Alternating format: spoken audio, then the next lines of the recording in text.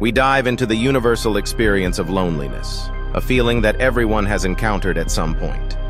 Despite living in a world that's more connected than ever through technology, many of us find ourselves feeling more isolated.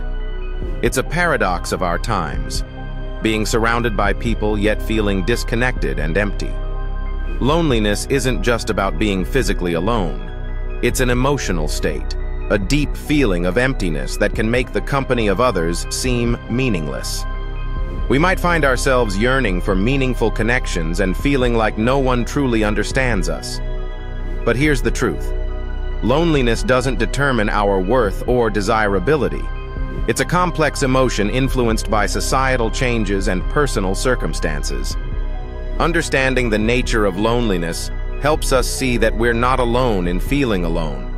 By exploring this emotion, we can gain better insight into ourselves and our experiences.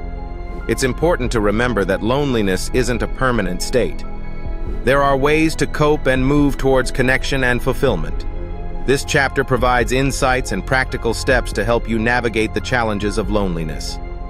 By embracing these strategies, you can find a sense of connection and fulfillment, transforming loneliness from a shadow into an opportunity for personal growth and deeper relationships.